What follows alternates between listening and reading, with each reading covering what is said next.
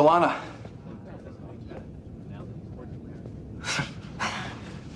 this is ridiculous. It's been three days and we haven't said a word to each I other. I know, I know. Uh, we have to talk.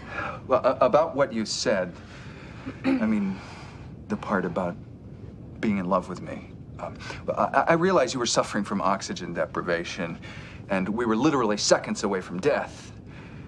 So I know you probably didn't mean it. Oh, no, no, I, I meant it. But I, I don't expect you to uh, reciprocate. Really, uh, you can just pretend that I didn't say it. In fact, let's just forget that I even said anything. Shut up. I really.